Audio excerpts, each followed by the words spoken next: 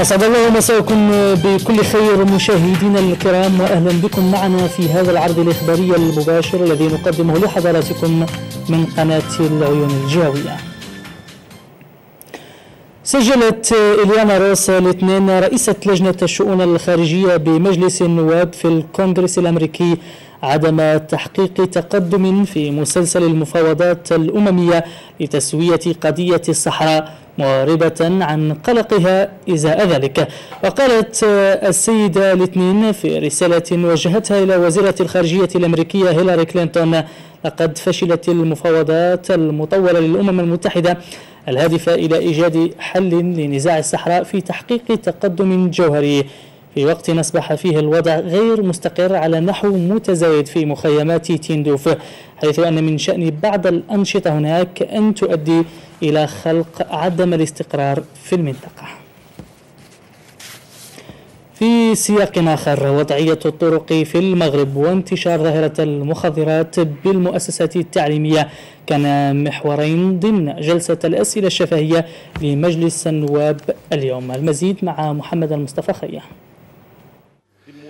النائب البرلماني سيد إبراهيم خي عن الفريق الحركي تساءل حول الاسباب المؤدية لتراجع مؤشرات جودة الطرق بالمغرب خلال هذه السنة والبرامج المسطرة من لدن الدولة لإيجاد حلول عاجلة لمختلف المشاكل التي تعيشها هذه الطرق.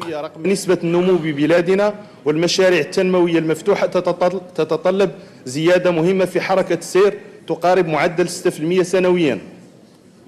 بالموازاة مع ذلك فصيانة الطرق لا تتجاوز 2000 كيلومتر سنويا وتراجعت بذلك مؤشرات جودة حالة الطرق بين ما يناهي 60% إلى 50% خلال هذه السنة. ونذكر على سبيل المثال السيد الوزير الطريق الجهوية رقم 201 الرابطة ما بين أسفي ومراكش والطريق الوطنية رقم 1 الرابطة ما بين تيزنيت والداخلة. والتي أصبحت وضعيتهم المتردية تسبب مشاكل لمستعملي الطرق. لذا نسائلكم السيد الوزير عن ما هي الإجراءات التي ستتخذونها لإصلاح الشبكة الطرقية بالمملكة وبرامج الوزارة المستقبلية. وزير التجهيز والنقل السيد عزيز رباح أكد عزم الدولة اتباع مجموعة من الإجراءات الجديدة الرامية لإنشاء طرق ذات جودة عالية تتميز بمواصفات متميزة تضمن السلامة لمستعمليها كنواكو اولا مركز ديال الدراسات الطرقية اللي هو الكنار. الآن كنعاودوا الدراسة باش يولي مركز حقيقي وجهزناه الآن وغنجهزوه بإمكانيات باش يواكب معنا العملية ديال الإصلاح. ثانيا كنفكروا ما يسمى بطلب عروض في إطار صفقات إطار ديال خمس سنوات. بدل ما نبقوا نديروها حنا هذاك الفلوس اللي عندنا نعطيوها لشركات متخصصة نتفقوا معها على جودة ديال الطرق وكل سنة شحال من كيلومتر. حنا الآن جالسين كنوجدوا هذا التوجه باش يمكننا نجتهدوا في العملية ديال الصيانة. وبالنسبة للمقطعين اللي مذكورين راهم كانوا في البرمجة في إطار 2010 2014 والآخر في إطار الصيانة الاعتيادية. النائبة البرلمانية ججمولة من تبي عن فريق التقدم الديمقراطي تساءلت حول الإجراءات المتخذة من لدن وزارة التربية الوطنية للقضاء على ظاهرة تناول المخدرات وانتشار الإجرام داخل المؤسسات التعليمية.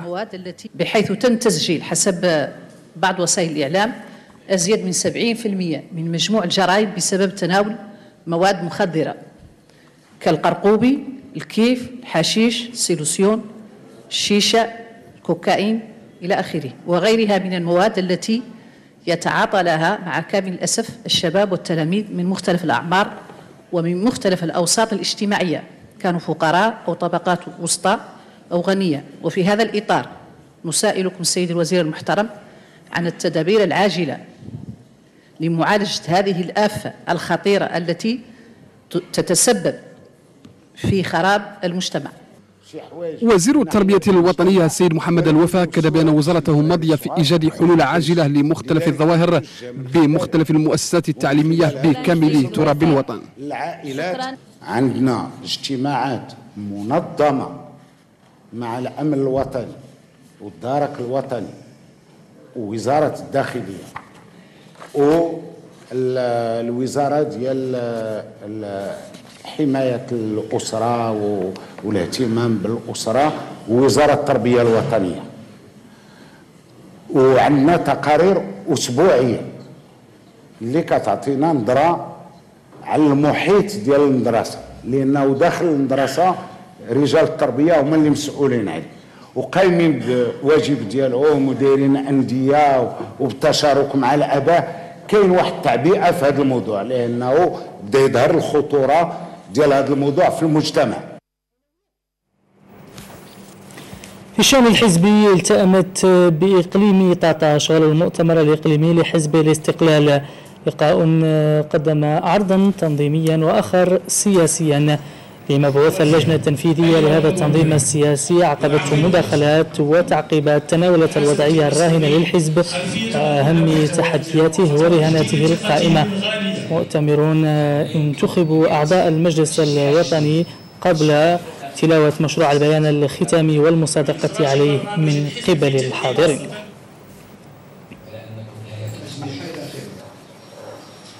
الهيئات الموازية وجهويا وحتى في الشأن التنموي تدارس العديد من المتدخلين في برنامج التنمية المجالية على مستوى إقليم أسازاك حصيلة ما تحقق بالمنطقة من منجزات هذا البرنامج. برنامج ساعد على إخراج مجموعة من المشاريع والأوراش التي تستمد نجاعتها من اقترانها بمحيط المنطقة واستثمارها لمؤهلاتها الطبيعية والثقافية حافظ محضر حصيلة منجزات برنامج التنمية المجالية على مستوى الإقليم.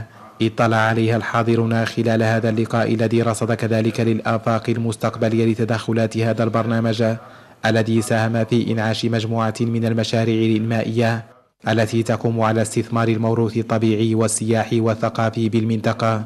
الجماعات كلها أعطت يعني النقاط المهمة التي يجب التركيز عليها والأولويات المهمة سواء في الاقتصاد الاجتماعي وسواء كذلك في تثمين مجموعة ديال الأمور التي اشتغل عليها البرنامج. من أجل كذلك تبادل الأفكار ومن أجل وضع توصيات خاصة لجنة القيادة. من بين هذه التوصيات هناك بصفة أساسية أهمية مخططات الجماعات المحلية والإسراع بهذه الأدوات بحيث تكون جاهزة في أقرب ممكن وخاصة أنها لها دور في توحيد الرؤية فيما يخص التنمية وكذلك تعتبر من الضروريات والمستلزمات لإيجاد تمويلات هذه البرامج التي تشكل الخطة. توصيات خلص إليها المجتمعون خلال هذا اللقاء شددت على توسيع تدخلات هذا البرنامج.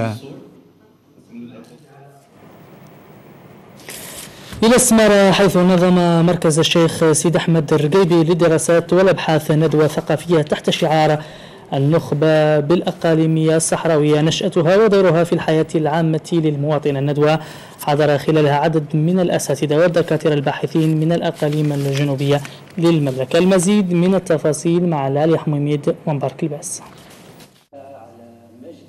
ندوة ثقافية كانت مناسبة للوقوف من جهة عند أهمية دراسة النخب باعتبارها إحدى أهم مواضيع علم الاجتماع السياسي ومن جهة أخرى لتشخيص واقع النخب الصحراوية نظرا للأدوار المفترض أن تلعبه الأخيرة في شتى مناحي الحياة العامة للمواطن. الندوة حضر خلالها أساتذة ودكاترة باحثون وتهدف بالأساس إلى إثارة الانتباه إلى المكانة والأهمية التي تكتسيها النخبة الصحراوية في الشأن العام والتأكيد على أن الانتقادات التي تتعرض لها هذه النخبة هي مواقف مسبقة وغير مدروسة. أغلب الشباب الذين يتحدثون عن النخبة الصحراوية إنما يذهبون إلى حد اعتبار أنها نخبة تقليدية وأن هياكلها قد تآكلت إلى غيرها من الانتقادات التي تبنى بصورة مسبقة. ما هكذا تورد الإبل, الإبل يا سعد؟ النخب التي تنعت بأنها تقليدية لا ننكر بأن لها تمثيلية لدى أوساط شريحة واسعة من السكان وأن لها إيجابيات. مداخلتي في هذه الندوة تركزت بالأساس حول الإطار المفاهيمي لمدلول أو مصطلح النخبة بالصحراء وبالتالي تجليات هذا المصطلح في في علماء الفكر السياسيين والاجتماعيين والمقاربات التي أعطيت لهذه المصطلح. سواء من طرف الفقهاء الإيطاليين أو الأمريكيين. ثم تجليات هذه النظرية النخبة وما هي محددات وتجلياتها بالمنطقة المداخلة التي عنونتها آه، بأي مشاركة للنخب الصحراوية في المشروع الجهوي بالأقاليم الجنوبية. حاولت من خلالها تسليط الأضواء على أهمية النخب الصحراوية في صناعة القرار والمشاركة السياسية عبر عدة آليات لعل أهمها هو محاولة إيجاد إيجاد لتصورات معقولة حول المشروع الجهوي القادم والمشاركة فيه. وخلصت هذه الندوة إلى الحث على ضرورة إدماج النخب المؤهلة في التركيبة الجديدة للمجلس الملكي الاستشاري للشؤون الصحراوية وإشراكها في تدبير الشأن المحلي باعتبارها فئة قادرة على تمثيل ومواكبة المشاريع المقترحة للمنطقة وخصوصا ما يرتبط منها بالجهوية والحكم الذاتي. وبخصوص امتحانات البكالوريا التي ستنطلق صباح يوم غد إن شاء الله. أدلى لنا مدير الأكاديمية الجهوية للتربية والتكوين لجهة العيون بوجدرة ساقية الحمراء بالتصريح التالي حول الإجراءات والتدابير التي تم اتخاذها لمرور هذه الامتحانات في أحسن الظروف والأجواء لنتابع. فالأمور الأساسية هي تهيئ الفضاء ديال استقبال مراكز الامتحانات وهذا العمل اشتغلنا فيها فيه مع كل المتدخلين من سلطات عمومية ومنتخبين وجمعيات كذلك الأمهات والآباء باش تكون الظروف ملائمة لاستقبال التلميذات والتلاميذ في أحسن الظروف. كذلك مبادرات اللي اتخذت على المستوى الوطني هذه السنة بالنسبة لهذه الدورة ديال البكالوريا هي احتساب أعلى نقطة بالنسبة للتلميذات والتلاميذ على على بالنسبة للدورتين. المستدركين منهم سيتم احتساب على نقطة. كذلك تم أخذ مبادرة لتحسين الدبلوم ديال البكالوريا بحيث تم إضافة واحد الخاتم عليه هذه السنة. وبطبيعة الحال جانب مهم هو استحضار مبدأ تكافؤ الفرص بكل المقاييس. تم اتخاذ قرار هذه السنة هذه. أنه كل من ضبط وبحوزته هاتف نقال أو وسيلة أخرى كلوحة إلكترونية ولا غيرها سيعتبر غاش. فهذا العمل حنا كنا كنقوم به السنوات الماضية أننا يتم استحضار هذا المبدأ ديال تكافؤ الفرص بكل المقاييس وكنحاولوا اننا نحرصوا على التلاميذ ما يستعملوش وسائل اللي هي لا تسهل الإمكانية ديالهم اجتياز الامتحانات في أحسن الظروف. فهذه السنة سيتم تعليق لافتات بحجم كبير في مدخل كل مراكز الامتحانات التي تشير إلى ان كل من من أحضر وسيلة غش يا هاتف نقال يا غيرها من الوسائل الإلكترونية سيعتبر غش وسيتم إقصاؤه من, الامتحانات. فإحنا كنتمناو وهذه دعوة عاوتاني للتلميذات والتلاميذ أنه آه، لا يجب استحضار هذه الوسائل هذه المركز الامتحان وأن الأسر تساعدنا في هذه العملية هذه آه، لأن كاينة إمكانيات اللي حتى الأسر كطالب بها أنه يتم تفتيش مترشحات المترشحين في مدخل المؤسسات التعليمية.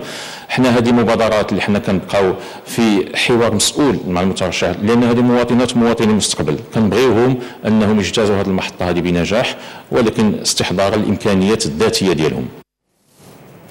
الإطار التربوي دائما توصلت قناة العيون الجهوية بثلاث بلاغات من النيابة الإقليمية لوزارة التربية الوطنية بالعيون. البلاغ الأول والمرتبط بامتحانات البكالوريا. تنهي فيها النيابة الإقليمية إلى كافة المترشحات والمترشحين الرسميين والأحرار وتنفيذا للقرار الوزاري المتعلق بهذا الإطار أنه يمنع منعا باتا إحضار هاتف النقال أو الحاسوب المحمول بكل أشكاله أو اللوحة الإلكترونية وكل ما يرتبط بها من معدات أو أي وسيلة أخرى من وسائل الخداع والغش سواء داخل فضاء مركز الامتحان أو قاعة إجراء الاختبارات. وكل من ضبطت بحوزته هذه الوسائل فسيعرض نفسه لعقوبات زجرية صارمة كما تنص على ذلك القوانين المنظمة لهذا الإطار في شأن زجر الغش والخداع في المباريات العمومية. البلاغ الثاني ومتعلق بالدخول المدرسي حيث تنهي النيابة الإقليمية أنه تستمر عملية تسجيل التلاميذ الجدد بالسنة الأولى من التعليم الابتدائي بجميع المؤسسات التعليمية التابعة لنيابة العيون إلى غاية 2012 أو إلى غاية العاشر من يوليوز 2012 ويتعلق الأمر بالتلاميذ من مواليد 2006 وما قبل. البلاغ الثالث تؤكد فيها النيابة الإقليمية على ضرورة إعادة تسجيل التلاميذ بمختلف المؤسسات التعليمية ابتداء من صدور النتائج إلى غاية العاشر يوليوز 2012 لضمان انطلاق الموسم الدراسي المقبل في الموعد المحدد. وكل من تأخر في إعادة التسجيل قبل هذا التاريخ سيضع نفسه أمام خيار تغيير المؤسسة. كما أن على التلاميذ المنقطعين والمنفصلين حسب نفس البلاغ تقديم طلبات إعادة التمدرس إلى إدارة المؤسسة التي ينتمون إليها قبل العاشر يوليوز. وكل طلب ورد بهذا التاريخ لن يؤخذ بعين الاعتبار. في إطار آخر عقدت يوم أمس نقابة سائقي سيارات الأجرة الصنف الثانية المنضوية تحت لواء الاتحاد العام للشغالين بالمغرب فرع العيون جمعا عاما. تم خلاله التطرق إلى بعض القضايا التي تهم القطاع على دور المستجدات الاقتصادية والسبل الكفيلة بإيجاد حلول ناجعة تهم المهنيين والساكنة على العموم.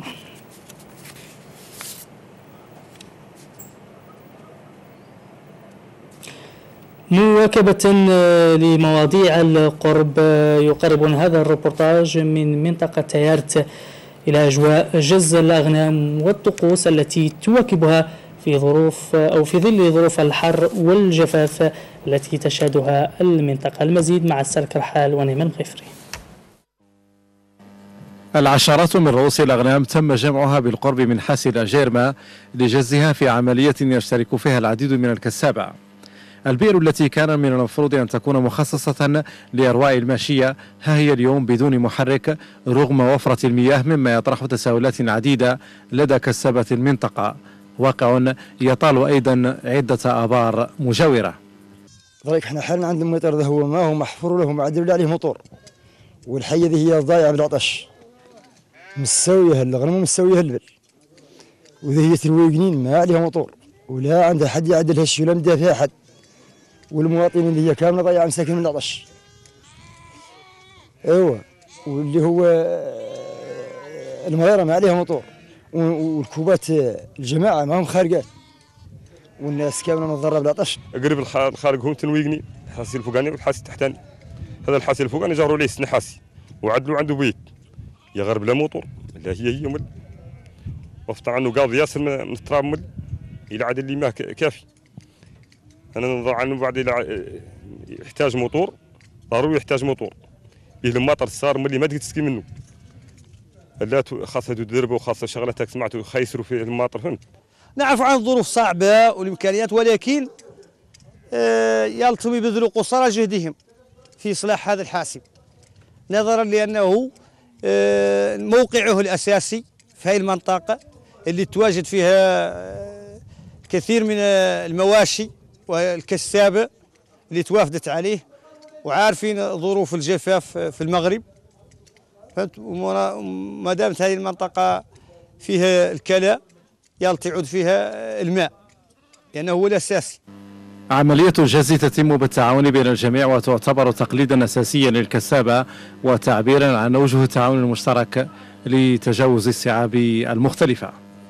الناس كانت تزز قديم تجمع الناس بلمز... تجيب الناس تبني خيمة وتجيب الناس وتجيب المزاز أنت ذاك وتزز بيهم. ما تجيب ذي المغوس هاي المغوسة ما تعرفها الناس تعرف إلا مززة عوجة. أنت ذاك سمعت وتزز بيهم وتجيب الرجالة توزهم وتزز الغنم وت... وكله يمشي شور اهله سمعتني وترتخى الغنم. هذا هو كانت الناس تعدل بكري. أنت ذاك سمعته. ولا تدير لها زريبة. حابستها التركه لهيه. أنت ذاك سامع. والين تنزز وترتخ إلا أن الإقبال لم يعد كثيرا على أصواف الأغنام نظرا لتدخل الآلة والوسائل الحديثة مما قلل من القيمة المادية لهذا الصوف الذي يوجه في الغالب إلى مدينة غليميم عرف المركب الرياضي الحبيب حبها بمدينة سمارة عدة أوراش تساهم في تأهيله ليصبح معلم رياضية تتميز بالعشبية الاصطناعية الشيء الذي سيفتح آفاق واسعة أمام الشباب والأندية بالإقليم المزيد من التفاصيل مع فاطمة الزهر الفحصي ومبارك الباس حبها بسمارة والذي بعد سلسلة من المحاولات التي لم يكتب لها أن تترجم إلى أرض الواقع استطاعت إرادة كل الفعاليات والسلطات والمنتخبين أن تجعل من حلب بعاث ملعب محشوشب بسمارة واقعا حقيقيا. ولكن كما تلاحظ اليوم نحن أمام مشروع ضخم ومشروع كبير علقت عليه ساكنة الإقليم بصفة عامة والشباب بصفة خاصة والأندية والجمعيات الرياضية آمال كبيرة وظلت تراهن على هذا المركب الرياضي بحكم موقعه الاستراتيجي وبحكم شساعه فضاءاته وبحكم تميزه وبحكم كذلك تركيبات مختلفة الرياضية لداخل الإقليم. زرع العشب طبيعي وإعادة هيكلة جميع مرافق الملعب من مستودعات ومدرجات وإحداث منصة جديدة للجمهور عبر كل الإمكانيات المالية واللوجستيكية لتحقيق إنجاز هذه المعلمة الرياضية. وهو الأمر الذي جعل الجمعيات المعنية تناشد وزارة الشباب والرياضة وجامعة ألعاب القوى بإحداث حلبة مطاطية بالملعب. المركب الرياضي كما قلت آه، سيعرف كذلك خلال الأيام القادمة مشروع كبير ويتعلق بتأهيل المركب الرياضي الحبيب حبوها. هذا المشروع الذي خصص له غلاف مالي تقريبا يفوق 10 المليون ديال الدرهم بتمويل من وكالة الجنوب وبعض الجهات الأخرى وبالتالي وبرنامج في إطار الشطر الثاني من برنامج التأهيل الحضري الذي آه، يعرفه الإقليم وبالتالي هي نهضة عمرانية ونهضة للبنية التحتية ومسيرة تنموية شهدناها خلال هذه الآونة الأخيرة. الأخيرة وخصوصا خلال ثلاث سنوات الأخيرة. آه، كما قلت في سؤالك السابق هو أنه المركب الرياضي لحسن الحظ أننا نحن أمام قرية أولمبية إن صح التعبير. آه، بجوار المركب الرياضي مشروع كبير وضخم وسيخرج إلى حيز الوجود خلال الأشهر القليلة القادمة وهو مركز الاستقبال.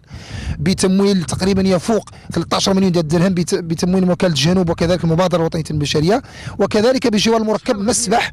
هذا المركز الاستقبال شحال فيه آه، المركز مركز الاستقبال الذي سيعرف تقريبا أزيد من حمولة 120 سرير وسيهم سيستهدف فئات متعددة وستستفيد منه مصالح مختلفة وبالتالي سيعطي دفعة قوية للرياضة بالإقليم. كذلك بجوار المركب هناك المسبح. هذا المسبح البلدي هو مشروع هام؟ وعلقت عليه الساكنة آمال كبيرة وسيعطي دفعة قوية كذلك للرياضة بالإقليم من خلال إحداث جمعيات رياضية تعنى بالسباحة. وحسب شركة الموكول إليها إنجاز العشب الطبيعي فإن الملعب سيفتح أبوابه في وجه فرق المدينة وشبابها انطلاقا من الموسم الرياضي المقبل. وهو البرنامج الذي يدخل في إطار ورش تأهيل البنيات التحتية بسمارة والمنجز من طرف وكالة الجنوب والمجلس المنتخبة أما الآن زميل غالي القارحي يقودنا في جولة عبر الصحف الأسبوعية الوطنية الصادرة هذا الأسبوع. لنتابع. خصوص ما كتب عن الأقاليم الجنوبية للمملكة في الصحف الصادرة يوم غد الثلاثاء تخبرنا يومية المساء بأن وزارة الصحة أعفت المدير الجهوي للصحة بجهة قليميم السمارة وكلفت أحد الأطر بالمديرية بتسيير شؤونها بصفة مؤقتة والذي باشر عمله رسميا صباح اليوم في انتظار تعيين مدير جهوي جديد. وكشفت المساء بأن قرار الإعفاء وفق تصريح لمسؤول في المديرية الجهوية للصحة جاء استجابة لطلب سابق تقدم به المعني بالأمر قبل شهرين على الأقل وقد استجابت له المصالح المركزية في انتظار التباري بين أطر الوزارة على عدد من المناصب على المستوى المركزي وعلى صعيد بعض الجهات. وارتباطا دائما بما كتب على الأقاليم الجنوبية كتبت صحيفة جودا الإلكترونية أنه قضت ابتدائية وادي الذهب اليوم الاثنين بثلاثة أشهر حبس نافذة مع أداء غرامة مالية حددت في أربعة ألاف درهم في حق شخصين توبعوا في حالة اعتقال في قضية تتعلق بالتهريب الدولي للسجائر وبحسب جود دائما فإن المعنيين بالأمر ضبط جنوب الداخل على متن قارب قادم من موريتانيا يوجد على متنه 74 صندوقا مملوءا بالسجائر المهربة. صحيفة الأحداث المغربية كتبت في صفحتها الأولى بأن مصادر من مهنيي الصيد البحري أكدت أن عملية انطلاق صيد الرخويات بالجهة الجنوبية وبالخصوص جهة وادي الذهب قد صاحبها غياب تام لأطر مندوبية الصيد البحري بعدد من قرى الصيد. وذكرت الأحداث المغربية بأن الموظفون هم وحدهم من أصبح موكول إليهم مراقبة المنتوج وإعلانه عن طريق وثيقة تدخل في إطار التتبع الذي رسمته وزارة الفلاحة والصيد البحرية. الأمر الذي جعل كميات كبيرة من المنتوج حسب المصادر ذاتها يمر بطرق غير قانونية ودون مروره عبر سوق السمك من أجل أداء الرسوم المستحقة. وبهذا الخبر نكون قد أنهينا جولتنا في الصحف اليومية. أما عن أحوال الطقس بأقاليمنا الجنوبية اليوم غد إن شاء الله سيكون طقس مستقر مع سحب منخفضة كثيفة نسبيا مع إمكانية نزول بعض القطرات المطرية المتفرقة بالقرب من السواحل الشمالية للمنطقة عند بداية الصباح. درجات الحرارة الدنيا ستتراوح ما بين 15 درجة بكل من قليميم وطرفايا و 25 درجة بأوسط.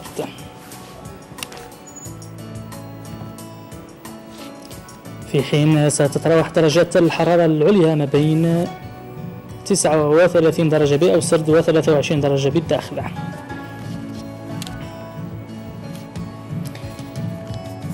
حالة البحر بالواجهة الأطلسية سيكون البحر كثير إلى قوي الهيجان ما بين أسفي وطرفايا وكثير الهيجان ما بين طرفايا ونواكشوط